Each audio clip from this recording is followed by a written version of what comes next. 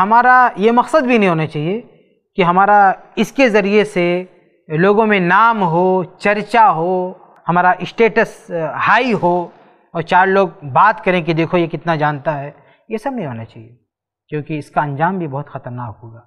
देखिए, सही मुस्लिम के हदीस हदीस नंबर एक हज़ार नौ सौ पाँच, लंबी रवायत थे उस रवायत के कुछ अल्फाज देखें आप, जिनमें कुरान का ज़िक्र है।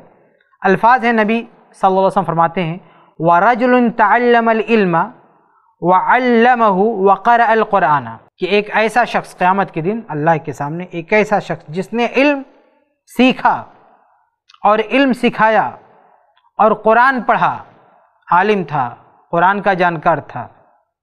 फ़ुतिया भी फ़ारफ़हू नमहू फ़ारफ़ा तो क़यामत के दिन वो लाया जाएगा अल्लाह की बारगाह में और अल्लाह ताला उसको याद दिलाएगा कि देखो मैंने तुमको ये नेमतें दी थी, तुमने इल्म सीखा और कुरान पढ़ा, फ़ मा अमिल तफ़ीहा तो तुमने क्या किया? इस इल्म का तुमने क्या किया? कल तल्लम तुहू कहेगा, अल्लाह, मैंने इल्म हासिल किया, लोगों को इल्म सिखाया। वक़रा तुफ़ी कल कुरान। तेरे लिए कुरान पढ़ा। कल कज़बता। अल्लाह कहेगा, झूठ बोलता है।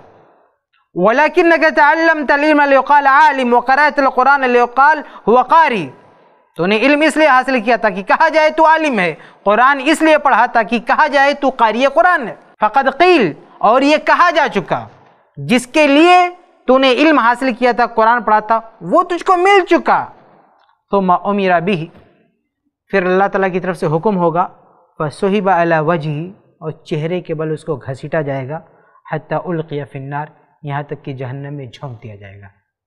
तो ये अंजाम होगा मेरे भाइयों, अगर शोहरत के लिए कि चार लोग हमको आलिम कहें, कुरान का जानकार कहें, अगर इस नीयत से हम कुरान सीखने की और सिखाने की कोशिश करेंगे तो बड़ा बुरा अंजाम होगा। जहन्नम में आदमी जा सकता है अगर इस तरह की नीयत रखेगा तो। इसलिए नीयत हमारी सही होनी चाहिए। ऐसे ही और वीडियोस बनाने में हमारी मदद करें।